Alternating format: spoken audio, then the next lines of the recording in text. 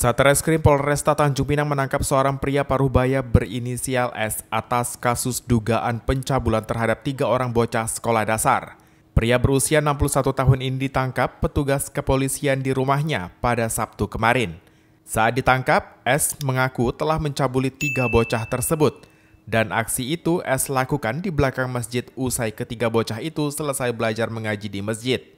Atas perbuatannya, pelaku S terancam dijerat dengan pasal 82 ayat 1 KUHP dengan ancaman paling singkat 5 tahun dan paling lama 15 tahun penjara. Laporan ini sudah diterima oleh Satreskrim dengan nomor RP B 140 bulan 9 2004 SPKT Polres Tanjung Pinang tanggal 21 September. Uh, yang sekarang Tersangkanya kita amankan di Polresta Tanjung Pinang. Siapa ketangkap Pak? Di Polresta Tanjung Pinang. Ketangkapnya kapan Pak? 21 September.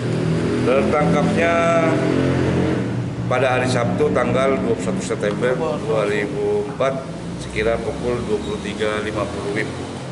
Di kediamannya Pak ya? Di kediamannya. Sebelumnya, tiga orang bocah yang masih duduk di bangku sekolah dasar di Tanjung Pinang telah menjadi korban pencabulan oleh seorang pria parubaya berinisial S. Perbuatan S terungkap setelah salah seorang korban menceritakan kepada seorang warga yang berada di masjid saat hendak melaksanakan sholat isya. Hasandi, GoTV News melaporkan.